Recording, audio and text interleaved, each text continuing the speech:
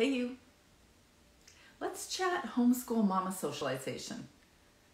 Because if you were anything like me at a certain point in homeschooling, there were so many things to do and so many things to coordinate that it was really tricky trying to find time for you to build community. People will always ask about your homeschool kids' socialization. Well, hopefully they won't always, but they have for many years, and that question has not faded out yet. That question will be asked about your child's socialization, about their experience at homeschooling, but we're not always addressing our experience as homeschool parents.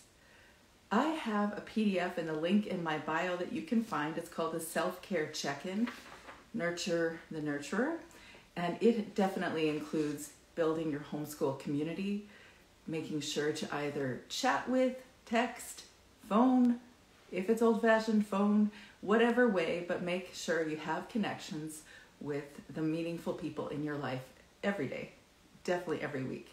And build in the time that you can actually connect with real human people.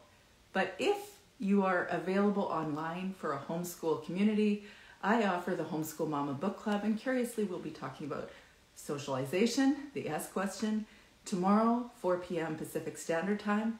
You can join the book club. It is also found in the link in my bio. But I'm going to read a little passage from my book, Homeschool Mama Self Care Nurturing the Nurturer. It's called, from a section called Caring for Mama's Community. But I like to think about it as the S question for homeschool mamas. When we're doing something atypical, like homeschooling, we're eager to find our tribe, to share our load, to have someone to share the experience. We want to be part of a group that feels like we're doing life similarly and that we have resources available when challenges arise. But homogenous communities don't exist. That community of homeschoolers that thinks like you, parents just like you, homeschools just like you, and values everything that you value, they don't exist in great number. You're not going to find that all the time. That would that we would independently homeschool, that we would do this thing called homeschooling, live off the beaten path, step out of mainstream, screams, we don't care if we are just like everyone else. Sometimes it takes us a while to figure out that we're not trying to do things just like everyone else, and so we won't find someone that's identical to us. Organizations have challenging challenges agreeing on the same vision. Countries have difficulties deciding on their financial and political focus.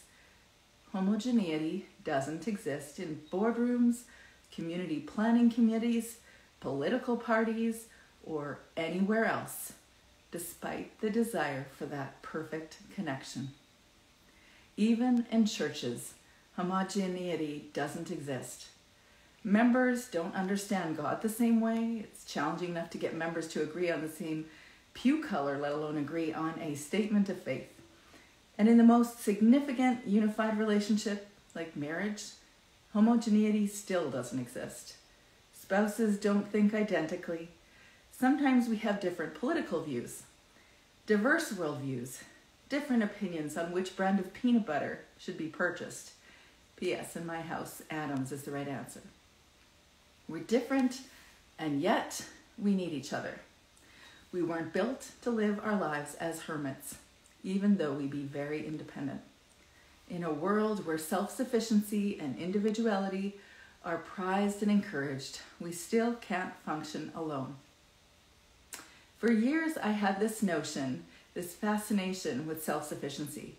I thought I'd want to live off grid, no electricity, eat my own vegetables and fruit, milk my own goats, working on that, processing my own chickens, did that, grow my own grain, live in a tiny house with four children.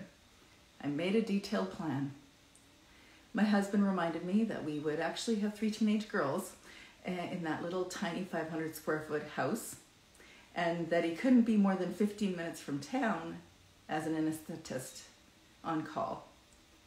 So we settled for a much larger house. with electricity, our own septic field, and a water well. Now that I have 20 chickens, three goats, oversee an 800 square foot garden, start my own seedlings in January for vegetables and fruits, and bake bread and forage in season. I've shared a cow, and uh, now I know how to build a fire. Hand chopped wood in my fireplace. I've learned that self sufficiency is a lot of work. It's an incredibly effort filled goal. Self sufficiency be gone. Because community enables me to share a tenth of that cow that I share. So I enjoy its milk, but don't, don't have to milk Clara twice daily. I enjoy Wi Fi most times and electricity. I enjoy someone fixing the washing machine when it breaks down helping me remove a tree that fell on the electric shed, clear snow from my private road.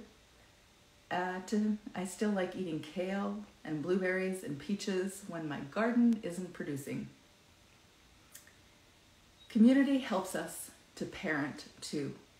Sometimes we don't know what to do. We've got an issue with our child that we haven't dealt with before.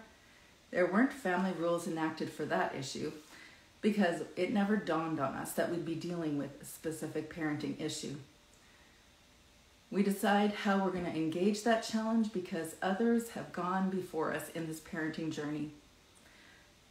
Now is the time we need community. We need a variety of people to voice their thoughts, to give us perspective, to provide us with ideas we hadn't considered. We're busy with our own family, and there is barely enough time to bring the meat out of the freezer for dinner, pick up our girls from ballet on time, and keep the radar on the toddler so he doesn't fall down the stairs. So, community can help us by sharing driving, by sharing family memories with other families, enabling community mentors for our kids, creating homeschool family connections. But sometimes we need to recognize that the community is right in front of us. And we're expecting a perfect community that reflects all the things we were talking about before. Who do you see all the time?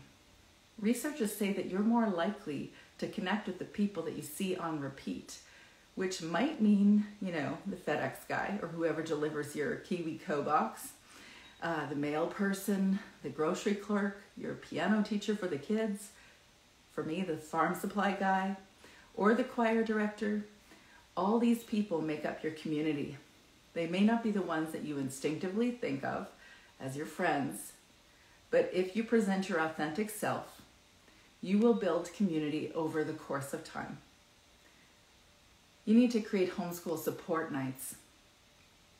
Invite your homeschool mamas for a coffee or a potluck mom's brunch or whatever it is that you could do with them and create a homeschool community, a support person for each other. Even if you don't homeschool the same way, even if you don't think about homeschooling the same way, you're very much similar in experience of life than you might be with other moms.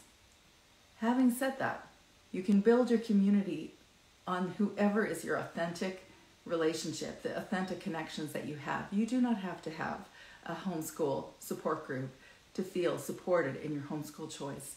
You can choose people that genuinely care about you, that may not see everything about education the same way, or maybe they would, but they didn't have the opportunity to homeschool when they first decided to school their kids.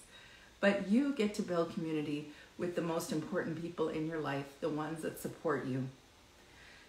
That tells you, too, though, that sometimes you have to actually ask yourself am I sharing this homeschool choice with people that aren't homeschoolers because you're trying to look for support from them when really they're not with you in that choice?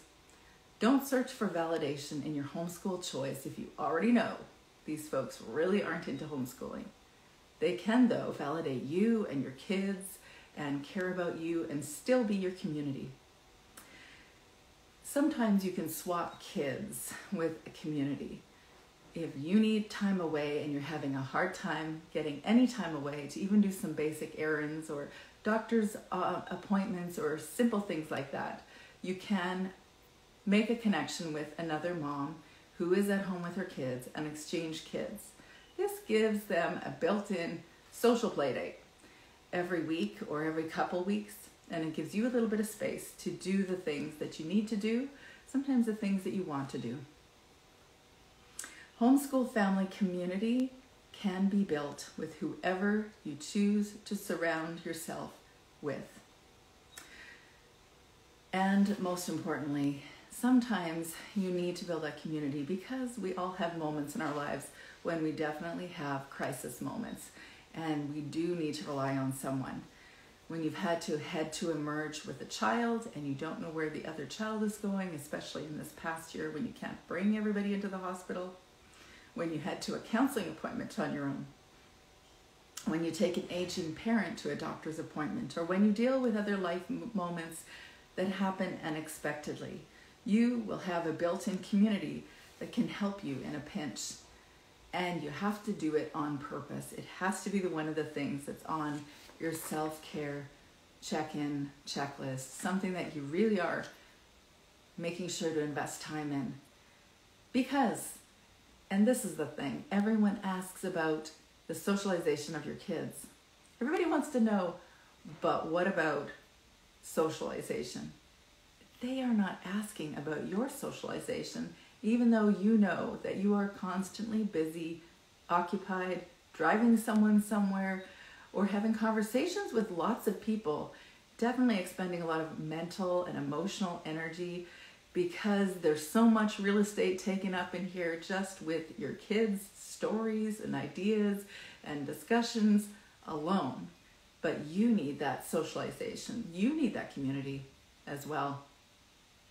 If you are concerned about the socialization for your kids, or if you have any uncertainties about that, tomorrow at 4 p.m. Pacific Standard Time, I'm going to discuss Rachel Gathercole's book, The Well Adjusted Child. I'm really excited to share it with you. After I read that book in the first, second, or third year of homeschooling, I don't think I ever thought about that discussion point again because it really created a very thorough, compelling argument for pretty much anything that you might think, but what about this for socialization? Maybe this is the reason I should be concerned for my kids. It'll be put to rest.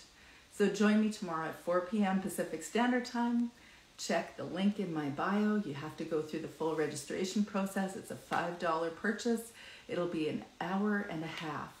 We'll begin the session with a grounding technique, a breathing technique, which will feel a little bit like you just stepped into a mini retreat. And that is a challenge to do after you've had a busy homeschool day. But this is what you need. You need to have those moments of just checking in emotionally with yourself and seeing where you're at. And then we'll dive, uh, dive deep into this book and really explore all the ways we can be certain that our homeschool socialization choice for our kids is the best one. So join me tomorrow. And if you have any thoughts, comments, or questions, I'm happy to answer them. Put them in the comments down below. I hope you have a good week. And I want to remind you, as Van Gogh says, great things are done by a series of small things brought together. And I choose that quote because oftentimes we as homeschool moms see what we're doing as small. We're just at home, trying to keep the place surviving, thriving even, it's a lot of work, a lot of tiny little things that we're choosing to do, but all those little things will be brought together to make a great thing.